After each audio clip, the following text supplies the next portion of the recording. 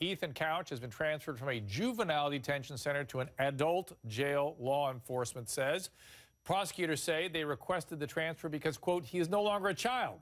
Back with us, Lisa, David, and RJ, and joining us, John Cardillo, Cardillo, WJNO, and syndicated radio host, former NYPD officer.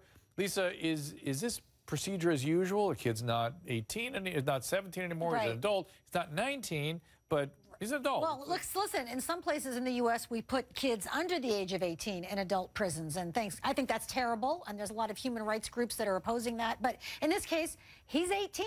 He can go to the big prison with the other adults. He is legally an adult. RJ, agree?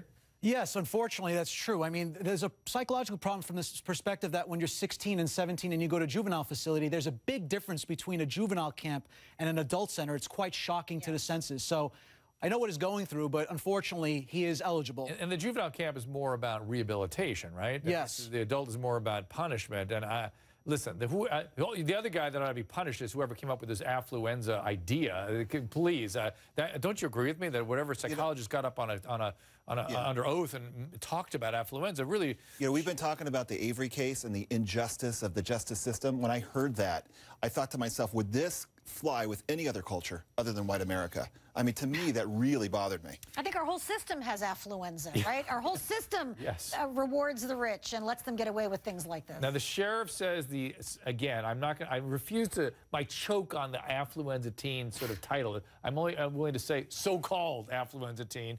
He's been placed now in a single cell for his own protection.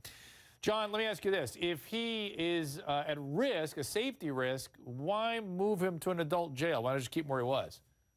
because he's a savage who murdered four people, destroyed the lives of four families, and he should go to jail for the rest of his life in an adult jail. He did this. He took the drugs, he downed the drinks, he killed four people and destroyed four families. I have no sympathy for this guy whatsoever. I-